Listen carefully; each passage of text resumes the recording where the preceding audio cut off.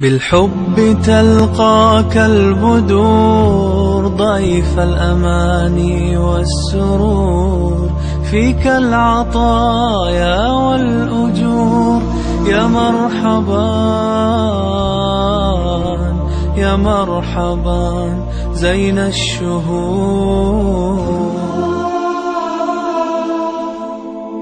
السلام عليكم ورحمة الله وبركاته وأهلا وسهلا بكم.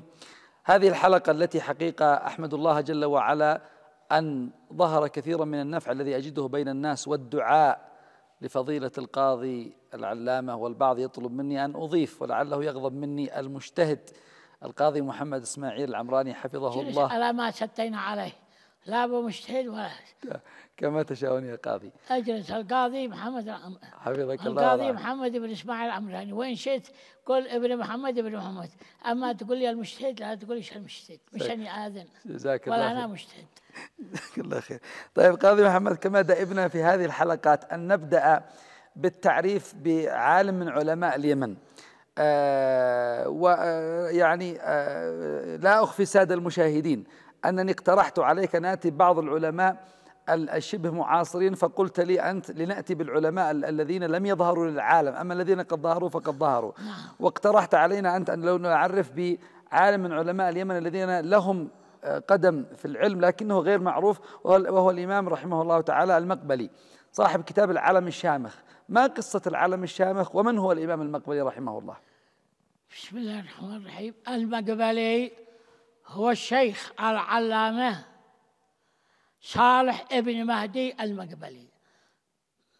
من أهل الطويلة من قرية اسمها مقبل ولكنه نشأ في مدينة ثلاء وقرأ على علماء ثلاء وعلى علامة شبام السيد العلامة محمد ابن إبراهيم ابن المفضل. وقد كان جبل علم إلا أنه هادئ المقبلي؟ لا محمد بن محمد بن إبراهيم. هادئ بينما المقبلي يفور علم وذكاء. فقال له قال الشيخ للتلميذ أنا ذاهب إلى مكة أحج ثم أذهب أزور. وأين تقرأ؟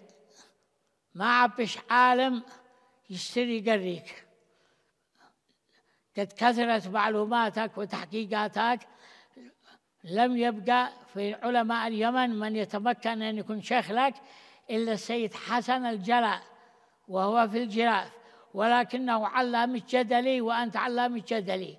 كلكم ما أس- ما تصلحوش ما يسدوش. انتظر حتى أرجع. فلم ينتظر فذهب إلى الجراف. جاء السيد ال- الجلال يقريه في كتاب نظام الفصول في علم الأصول استجاد الهوية في أول مسألة. وهناك تركه. قري عنده بعض الدرس. على. ما تفرس في شيخه. سبحان هذا. لأنه كان يتفور ذكاء وكان مجتهد إجتهاد مطلق. الله الله الله. وكانوا يقولوا له أنه ناصبي. يعني ما يحبش علي بن أبي طالب. مع أنه يحب علي بن أبي طالب أكثر. لكن كل من تسنن كانوا يطلقوا عليه ناصبي حتى أن الشاعر الهبل الشاعر المفرق المشهور نعم. ذمه بأبيات قال فيها المقبلي ناصبي أعمى الإله بصره. لا تعجبوا من بغضه للعترة المطهرة فأمه معرفة لكن أبوه نكرة. نكرة. هذا هذا. قالها الهبل. هذا الهبل. قذفه هذا قذف. قذف. نعم. العلماء أجابوا عنه بعدة أجوبة وعدة قصايد. وقالوا ال- المقبلي عالم إلى آخر مدح قوي. أها. أخيرا ماسك مع أهل صنعاء لأنه متحرر ومع أهل ثلاء غادر مكة. غادر لمن غادر اليمن وهاجر في مكة. أولا هاجر وحده ورجع ثم مرة ثانية باع بيته وهاجر وزوجته وبنته إلى مكة وبقي إلى أن جميع مؤلفات المقبلي ألفها وهو في مكة. رحمه الله. وصل إلى مكة وإذا بعضهم صوفية وبعضهم مقلد جامدي كانوا يقولوا له أنت شافعي؟ يقول لا. أنت حنفي؟ يقول لا. مالكي لا حنبلي قال لا قال إذا أنت زنديق. ما دام قال رضي الله عن أهل صنعاء. كانوا يقولوا لي ناسبي وعدني مسلم. وما ذاك دخلتني إلى الزندقة هذا هو المقبلي الذي ألف كتاب العلم الشامخ في إيثار الحق على تقليد الآباء والمشايخ. ربما أبيع الخلق قليل أنا قبل أن ننتقل إلى الكتاب في أي في أي قرن هو في أي آه، في عاش؟ القرن الحادي عشر نشأ ولد في منتصف القرن الحادي عشر وعاش في ولد في حوالي نيف وأربعين وألف وتوفى سنة ألف ومئة وثمان. 1108 وثمان. سنين. كم بينه وبين وبين الأمير؟ كان الأمير عمره تسع سنين. حال ما مات المقبلي في مكة والأمير في صنعاء عمره تسع سنين. الله أكبر. طيب هل كان في التقاء بين يعني بينه وبين عبد القادر بن أحمد أو شيء من هذا؟ من هو؟ المقبلي؟ المقبلي ما تلاقاه هو بعض العلماء بيت الحسوسة من علماء الذي تلاقاه ما- تلاقى شو السيد عبد القادر بن أحمد. هو من هو من أهل المحويت إذا نعم. هو من أهل المحويت من قرية اسمها اسمها مقبل. ها؟ مقبل. مقبل. مقبل. وعد به. قرية اسمها بيت المقبلي ثاني. غيرها. غيرها. إذا قالوا مقبلي فهو نسبة إلى قرية المقبل في الطويلة. أما الم- تابع المحوي والمقبلي قرية آخرة في عنس وفي يريم في المناطق الوسطى. هو بالفتح مقبلي. مقبلي. وهذاك مقبلي. آه، بالكسر. طيب قاضي محمد ما أدري هل بقي من ذريته أحد؟ لا لا يوجد من ذرية أحد. كما لا يوجد من ذرية العلامة محمد بن إبراهيم الوزير. كما لا يوجد من ذرية العلامة الحسن الجلاء كما لا يوجد من ذرية العلامة الحسين السياغي. كذلك من ذرية العلامة شيخ الإسلام الشوكاني. الوحيد هو السيد العلامة محمد بن إسماعيل أمين. لا زال ذريته موجودين الآن نعم يوجد الشوكاني من ذرية بنته. بن ابنته. من ذرية بنته. بنت تزوجت بالقاضي حسن الأكوع. وأنجبت ولد اسمه القاضي حسن بن حسن الأكوع.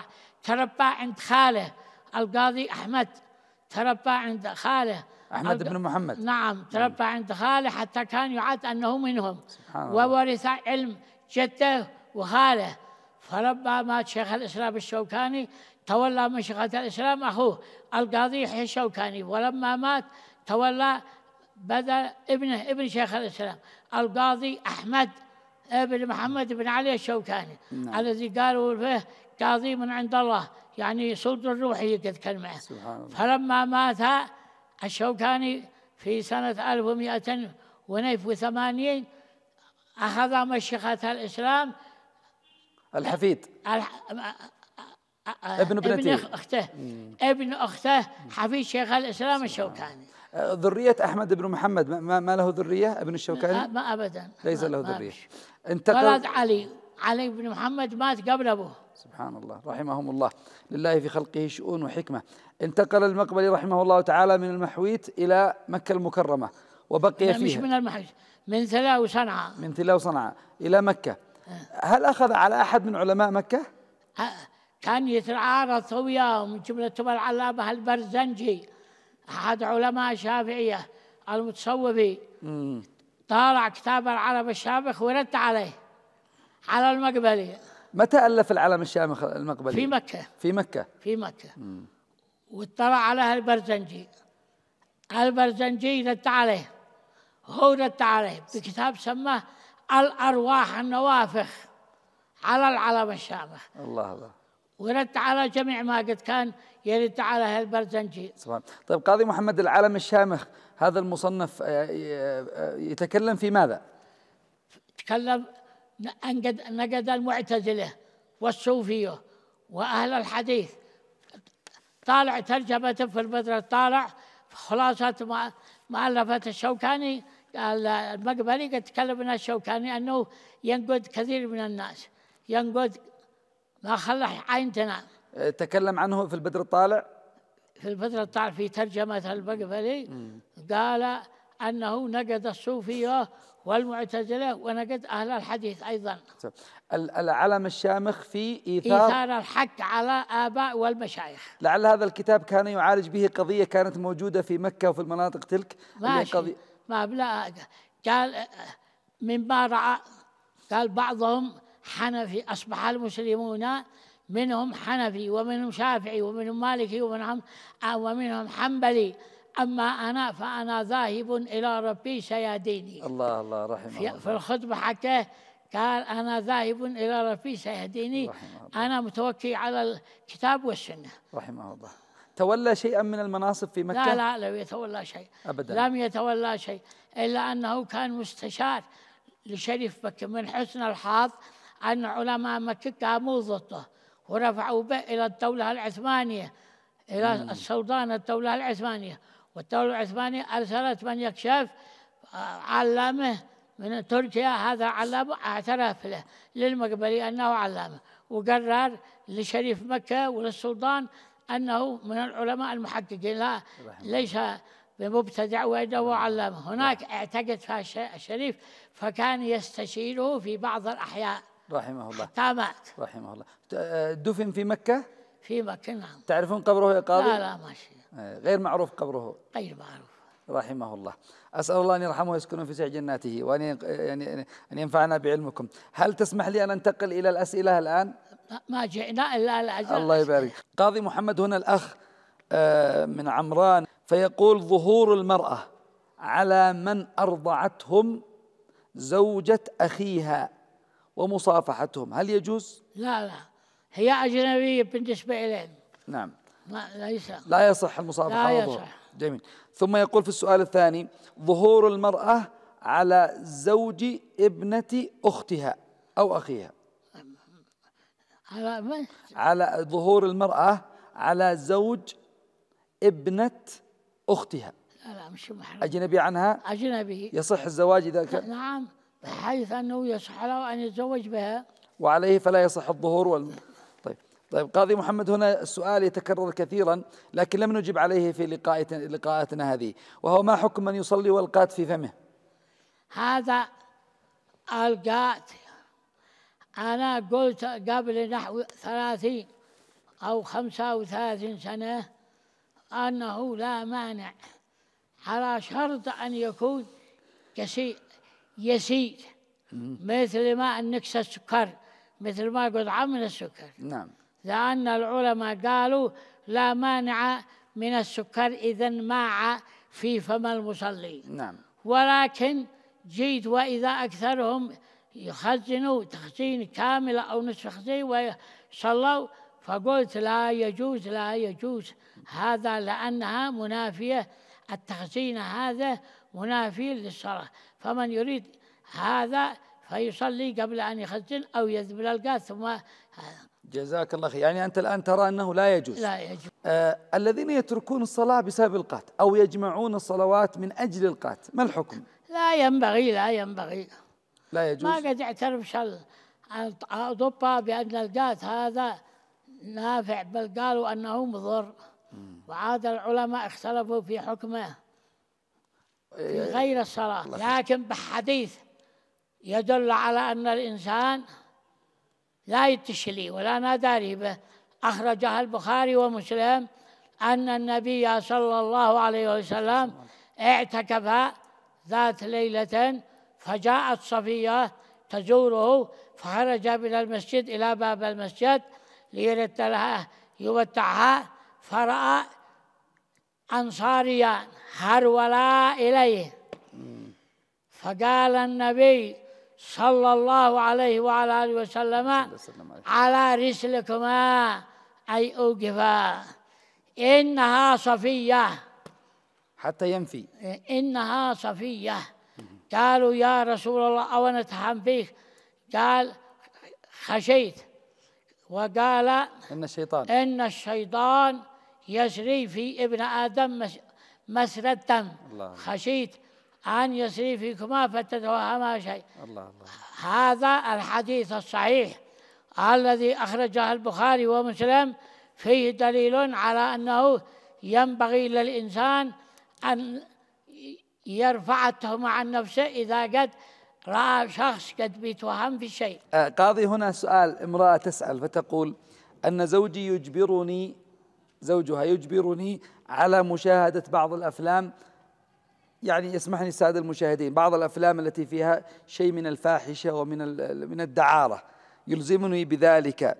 هل أنا آثمة؟ وما حكم مشاهدتي أنا وزوجي؟ هل هو من الكبائر لا يجوز للزوج هذا أن ينظر إلى هذه الأفلام إن صح أنها خليعة كما أنه لا يجوز له أن يجبر زوجته على أنها تشاهده ولا يجوز ولا يجب عليها أن تطيعه فلا طاعة لمخلوق في في مخ...